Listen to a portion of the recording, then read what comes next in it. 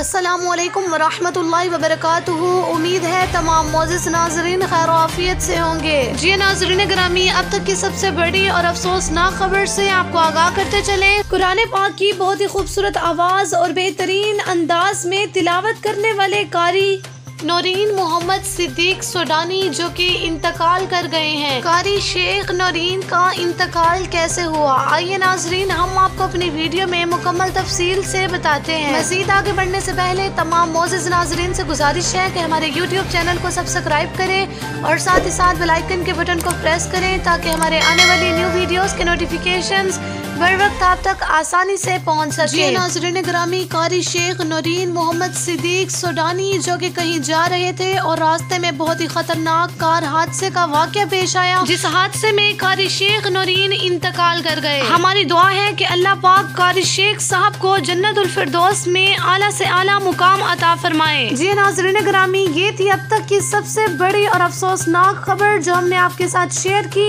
I hope आज की हमारी वीडियो आपको पसंद आई होगी। मिलते हैं किसी नेक्स्ट दिलचस्प मालूमती वीडियो के साथ। तब तक के लिए अपना ख्याल रखिएगा। अल्लाह हाफिज़।